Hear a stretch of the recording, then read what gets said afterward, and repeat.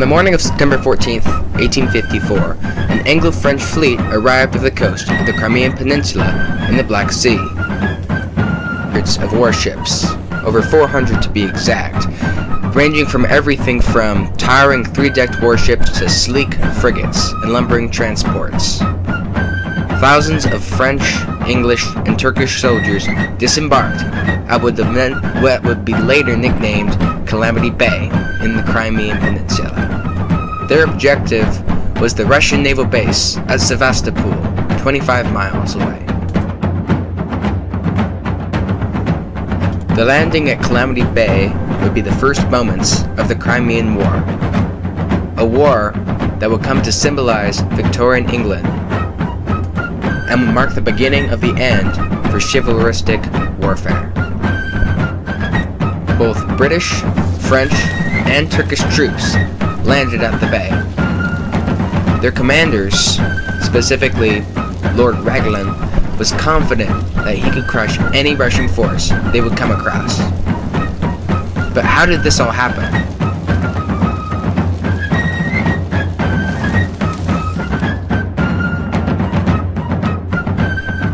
The true origin of the Crimean War started from Tsar Nicholas I's ambitions to nibble away at the crumbling Ottoman Empire and to establish a Russian presence in the Mediterranean.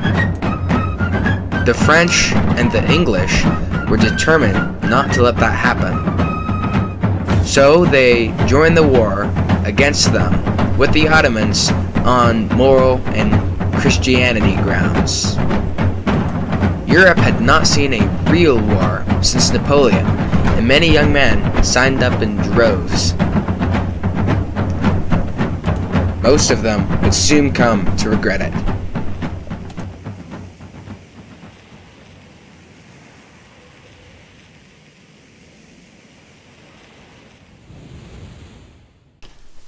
It took five whole days to disembark the entire army at Calamity Bay. The French army was much better prepared than the British, but the Redcoats did not complain. The first evening ashore there was heavy in rain, and made the night very miserable. The British had to make do with their sodden greatcoats and a few dripping blankets. The French had tents set up for every soldier, and the Turks also had tents. This was the first in a series of misfortune that would plague the British Army throughout the Crimean campaign. The sad truth was that the British Army was incredibly unprepared for the ordeal they were to endure. There were no transports or baggage train of any kind for the British Army, and foragers were sent into the surrounding countryside to bring in whatever food they could find. An officer of the 42nd Highlanders listed a surprising number of items he carried, including, quote, three days' rations of salt pork and biscuit, 9 pounds, coca, and sugar in his haversack, shirt, hose, boots, brushes, shell jacket, and sponges in his knapsack, greatcoat, claymore, sword, dirk, and revolver.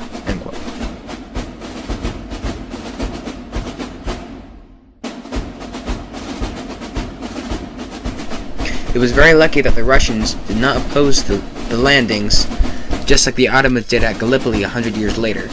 A solitary Russian officer on horseback watched the landings, took notes, took notes, and galloped off. The ground was treeless and undaunting, perfect for a move of men, horses, wagons, and artillery. The, Allied the Allies covered an area five miles wide and four miles deep. After the rainy, miserable night, spirits soared with the rising sun, and a gentle sea breeze made the air fresh and clean. Long columns of redcoats marched as if in review, and regimental bands played stirring airs. The Highland regiments were particularly striking. Large, muscular men, with swaying kilts, bobbing feather bonnets, and skirtling bagpipes. Russell of the Times noted, quote, the effect of these grand masses of soldiers descending the ridges of the hills, rank after rank, with the sun playing over forests of glittering and steel bayonets, can never be forgotten. This romantic version of war was far too fleeting.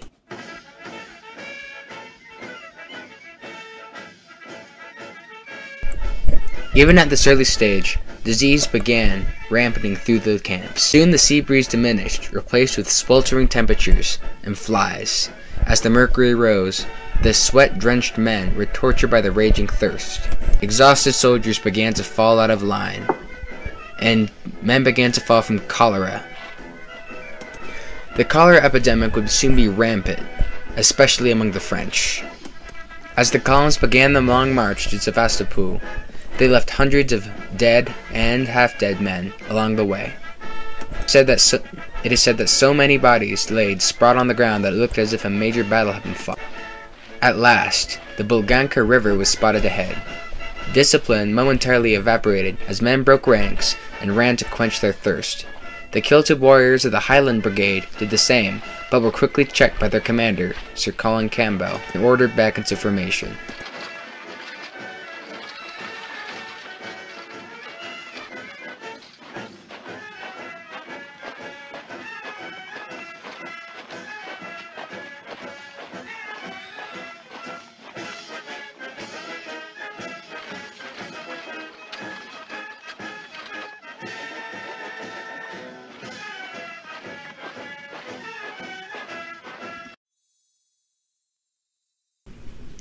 Campbell was one of the most respected officers in the British Army and knew what he was doing.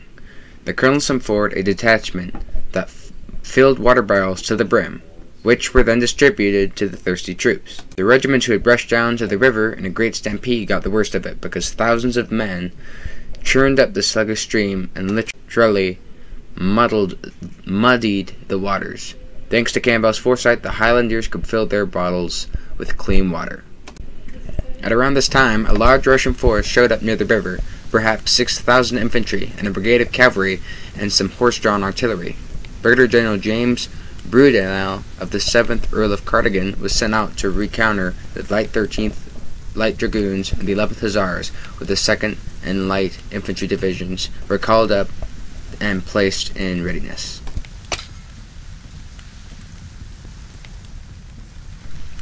A hot skirmish soon developed, with troopers from both sides firing at each other from horseback.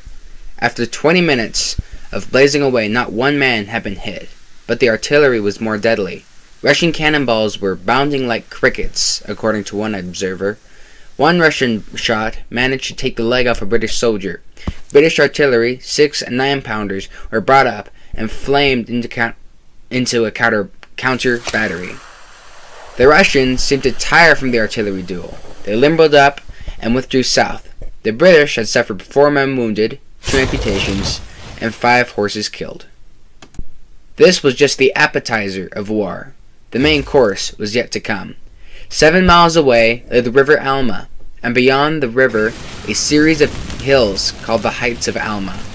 The Russians were not about to let themselves be bottled up in Sevastopol without a fight. If they were going to make a stand, the Heights would be the place to do it. Prince Alexander Menshikov, the Russian commander-in-chief in the Crimea, was sure that the Heights of Alma would stop the Allies dead in their tracks. He assured Tsar Nicholas that he could hold the Alma Heights for three weeks.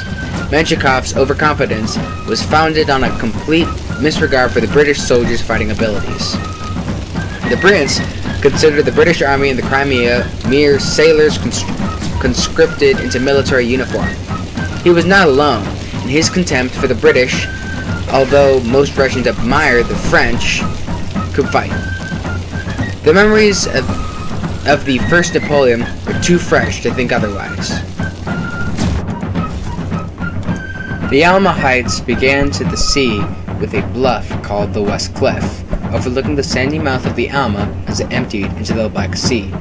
The West Cliff rose precariously about 400 feet. Two miles upriver was Telegraph Hill, so called because of a tower that originally was intended to be a telegraph station. Telegraph Hill and West Hill joined to form a plateau. The main road to Sevastopol ran between Telegraph Hill and another elevation to the east named Kourgan Hill, some 450 feet high. Kourgan Hill was, in many respects, the key to the heights. The Russians had built a great redoubt on the hill, a breastwork that could hold 12 guns. Slightly higher on that hill was the Lesser Redoubt. Those artillery pieces protected the eastern flank.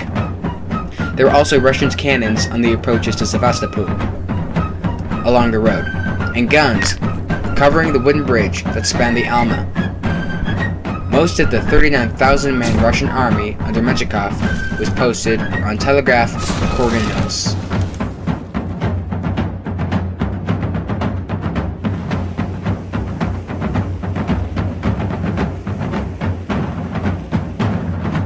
Although the British commander, Lord Raglan, had been the protege to the Duke of Wellington, none of Wellington's genius seemed to rub off. For all his far, with for all his faults, Raglan did occasionally show some flashes of common sense, if not brilliance. He was not in favor of the Crimean campaign since he left the British Army and thought it was woefully unprepared for the campaign. The British government ignored his protests, Nevertheless, Raglan was the soul of tact. When he met with the French commander on the evening of September 19th, he was ill. Feverish, feverish ravages of cholera had made their way through French camps, and the French commander was not the exception.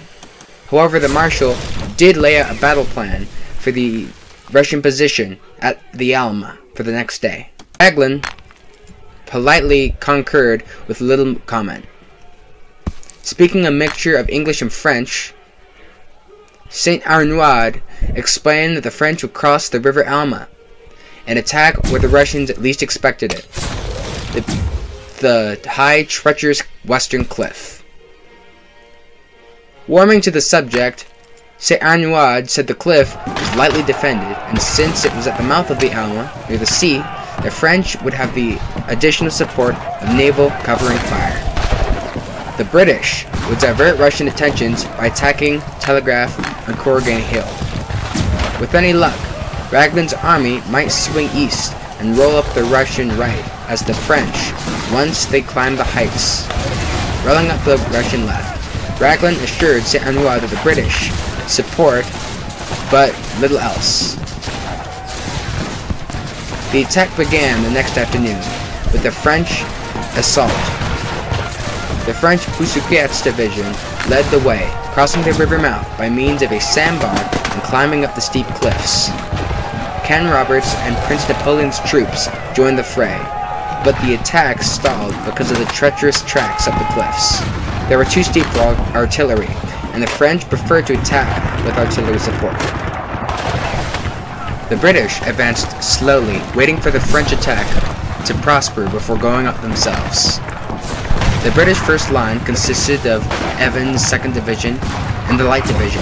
Behind them, the 1st Division, Highland Brigade, and the Guards stood in support. All other British troops were held in reserve. The British marching, marched in column, but when they got within range of the Russian guns across the river, they deployed into line. They were told to lie down which lessened the chance of being hit by a rampaging cannonball. Nevertheless, the artillery fire was so heavy that casualties began to mount. The Redcoats endured a hail of shot and shell for at least 20 minutes, keeping their courage up by giving names to the Russian guns. A French courier galloped up to Raglan, bringing St. Arnaud's request for help and adding, in aiding the typical Gallic overstatement. We are being massacred. It was time to advance. Anything was better than the nerve-wracking bombardment. The Light and 2nd Divisions moved out. As they did so, the Russians put Burliuk village to the torch. Crackling flames leapt high into the sky, and dense clouds of smoke cast a pall around the immediate area. The acidic smoke and flames threw the 2nd Division into a temporary confusion, with one battalion going into the village and the other going to the left. Once the once orderly lines bunched up and the situation was made worse by the light division's inherent coming in a slight angle so that the elements bumped into their colleagues from the 2nd Division. Some grenadiers crossed the river via a small intact wooden bridge, but the river was only about 4 feet deep on average, and most were able to wade across. The 95th Foot and the Royal Welsh Fusiliers became mixed up on the opposite bank, where the steepness of the slope on Kourgan Hill ironically afforded some protection for the Russian cannonballs. But victory would not be gained by sheltering under the lip of the ground. And before long, the Redcoats set off again through a storm of canister and grape shot. Their advance seemed irresistible, and as soon as they surged up the hill, the Russian gunners on the Great Redoubt ceased fire and began to limber up the guns in a frantic effort to escape the oncoming British force. As the Royal Welsh Fusiliers poured over the lip of the Great Battery entrenchment, color bearer Lieutenant Harry Anstruther was felled by a Russian bullet. Sergeant Luke O'Connor grabbed the Queen colors from the lieutenant's dead hands and him the banner in the redoubt, an act for which O'Connor was awarded the Victoria's Cross. The redoubt was now in British hands, and the two Russian guns had been taken in the bargain. But a counterattack was sure to come, and the nearest British help was the Duke of Cambridge's 1st Division, which had not yet crossed the Alma. Cambridge was 35 years old, the only division commander who had not served in the Napoleonic Wars 40 years earlier. In some, if some of the other British generals were too old in some respects, Cambridge was too inexperienced. The Duke was indecisive and uncertain about what to do. He asked a befuddled subordinate, Brigadier General Gentleman George Buller, for advice. Why, your Royal Highness, Buller replied. I am a little confused here. You had better advance, I think, he said. The Vladimir regiment lurched forward to the redoubt, then halted to wait for the Kazan regiment to come out and support. While they were waiting, a Russian officer glanced in the direction of Telegraph Hill and saw a small cluster of what he thought was British staff officers. It seemed like a mirage because they were well behind Russian lines. It seemed impossible, yet the waving plumes and the cocked hats confirmed that they were indeed British. When fighting started, Raglan had decided to go forward and seek a good vantage point from which to watch the action.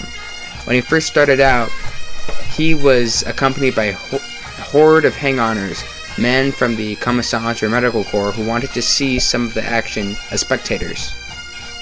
They grow they grew to at least 60 riders until they were blocking the view of Raglan and his staff, and he let them stay, explaining with a twinkle of his eye, quote, You know, directly we get under fire, those obliged not to remain will depart.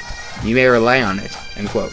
Surely enough, a Russian round shot fell short, and bounced up over the heads of the assembled spectators. True to Raglan's prediction, the hangers scattered like a bunch of scared rabbits.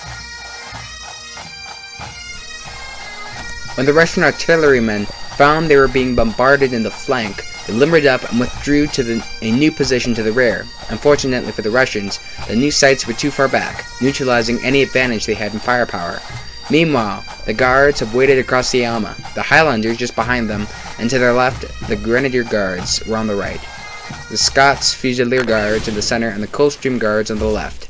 They were the flower of the British Army, protectors of Queen Victoria herself, formidable in their towering bearskin caps. The Vladimir Regiment poured a heavy fire into the survivors of the 23rd Foot, who were holding a position just below the Great Redoubt, causing them to retreat to down to Kourgan Hill. Gaining momentum as they went down the slopes, they crashed into the advancing Scots Fusilier Guards, disordering their lines and sweeping them away. Queen Victoria had a love of Scotland and was partial to the Scots Fusilier Guards. The Coldstream and Grenadier Guards, knowing this, could not resist childing their departing comrades. Shame, shame, what about the Queen's favourites now? Now there was a gap in the Guards' line, and a captain of the Grenadiers orders his company forward into a right angle. The guards reformed in a kind of L formation, a gap, ring of fire that the Russians unwillingly ran into. Volley after disciplined volley cut the Russian ranks with terrible effect. Once again, British rifle muskets spat Minié balls with deadly accuracy. The Tsar's troops still carried smoothbore muskets, could not fire back as effectively. Decimated by the hail of British gunfire, the Russians withdrew down the slopes. Some 10,000 unbloodied Russian troops moved forward to try to regain the initiative, but they ran headlong into the Highland Brigade. Celtic warriors were known for their famous courage on the battlefield. The men in the 42nd Black Watch, 79th and 93rd Highlanders were led by Campbell himself, an officer of the 42nd. Before they crossed the river, the Black Watch passed some vineyards, and as they marched, the sturdy Celts helped themselves to bunches of grapes. The Alma was shallow, about knee-high, although some Highlanders encountered deep pockets where the water rose to chest level. Once across the river, the Highlanders were subjugated to the accurate artillery and rifle fire. The Russian artillery shaking off the water from the Celts the best they could. The Highlanders reformed and ascended the hill, firing as they went. This could be done only by the best troops, and the Celts proved their worth. The Highland Brigade advanced in two ranks, literally a thin 200-yard wide line. The Russians were incredulous, scarcely believing their eyes. There were two large columns of Russian infantry in the vicinity the Suzdal Regiment, wearing spiked helmets, and the Kazan Regiment in forage caps. The Suzdal Regiment tried to take the 42nd in the flank, but was met by the 93rd and 79th. The steady readiness of the Highlander volleys began to take effect, and the Russian columns wavered, then broke, and started to fall back. The guards retook the battered Great Redoubt, while the 93rd Highlanders swept all enemy soldiers away from the rear of the redoubt, urged on by Sir Colin in his Scottish accent. We'll a nine but Highland bonnets here. The Russian withdrawal became a rout. There was nothing to do but seek the safety of Sevastopol. Menshikov seemed in a daze, unable to comprehend the extent of the debacle. He had promised to hold the Alma for three weeks. He had not held it for three hours. As his soldiers streamed into the river, Menshikov called out that it was a disgrace for a Russian soldier to retreat. The prince did not seem to realize he was to blame for the gallant defeat.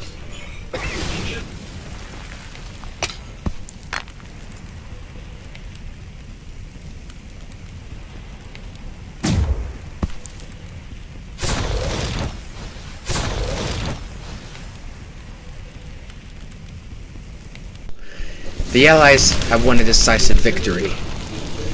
And by the time the French Zouaves had planted the tricolors on the top of Telegraph Hill, Saint Arnaud was convinced that the French had won the Battle of the Alma, almost unaided. He said as much in his dispatches to Paris, and only his death from cholera a few days later prevented bad feelings from festering between the Allies, who lost 3,342 dead. The Russians lost more than 6,000 men. The higher casualties stemmed in part from the British tactics and the deadly accuracy of Allied rifled muskets. A great opportunity was lost after the battle. Saint Arnaud had wanted to push on immediately in the slope in the hopes of taking Sevastopol while the Russians were set off balance and reeling from the defeat. Raglan refused, stating that there were 3,000 or so wounded British and Russians to take care of, and that they had three miles of sea and their transport ships. The British commander was also anxious to do a flank march and take Balaclava, the best possible harbor in the area. Hindsight's evidence suggests that Saint Arnaud was right. Sevastopol bristled with guns, but its defense was still incomplete. There was indeed a chance that the Allies could have taken the naval base but in an all-out attack. On the other hand, Raglan was right in wanting a safe harbor to funnel in men and supplies for the extent of the siege. He could not have known how valuable, how vulnerable Sevastopol was at that time. As it was, the Battle of Alma was only the curtain raiser to a protracted and bloody, criminal, mismangled campaign. Alma, like the later fight at Inkerman, was a soldier's battle, where the courage and fortitude of the rank and file deemed at least partially the blunders and sheer incompetence of their leaders. Alma was only the beginning of the Crimean War.